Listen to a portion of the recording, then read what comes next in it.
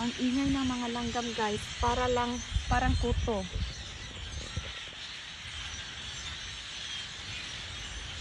Yan, parang mga kuto. Usually kapag malamig ang panahon, nagsa-start na lumalabas sila at like this much, oh. Oh. Ganyan sila karami. Kapag malamig ang panahon, nakakatakot sila tingnan. Pero cute. Dami lang parang kuto.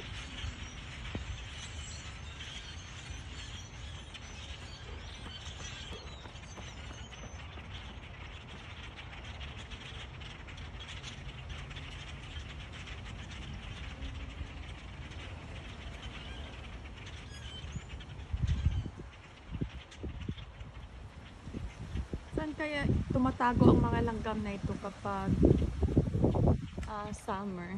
Super dami talaga nila as in. Morning ito ng umaga. Parang uulan at malamig din. Okay guys, thank you for watching. Ingat po kayo.